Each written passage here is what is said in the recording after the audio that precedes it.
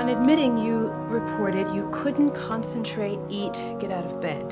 You said the feeling of not belonging anywhere was overwhelming. I have, I, or I had, I don't know, uh, this thing that I couldn't shake where I felt like because nothing was ever not going to be pointless and empty, then, uh, why go on? Rows of houses I can't go back.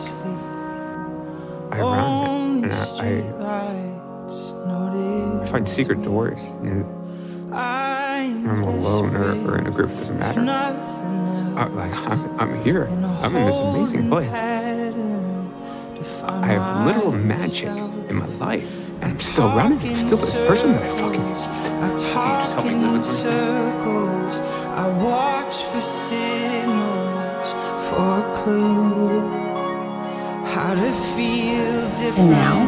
How to feel new. You feel better?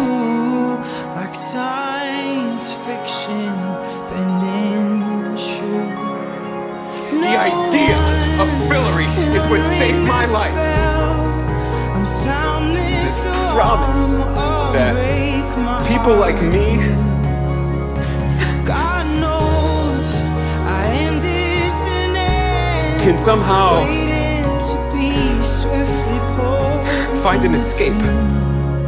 Remember what you told me about letting go of who you used to be? I know. I'm trying. Don't. I don't want you to. Believing in something, really believing, is almost impossible. But the Quentin I first met, he believed in magic. And in Fillory. A great way to get the things you want You know the worst part of getting exactly what you want? is to be so miserable. You don't want them anymore. When it's not good enough. Then why can't I run on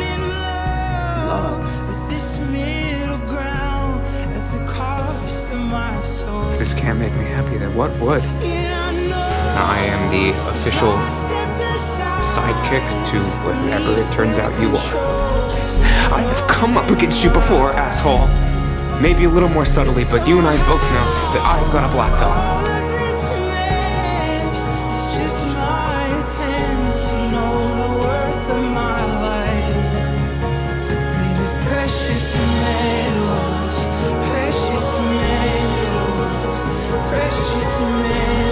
Tired. So tired. Of? Precious metals, Fighting all the precious metals. Becoming someone that I actually want to be, and realizing that I am nothing. Precious metals, precious metals. Do something brave to save my friend?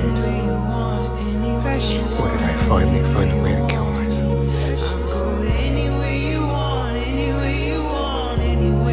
Of course you're exhausted. And you can hide from it. Or forever. In this lovely, quiet, blank void. But you also built a way out.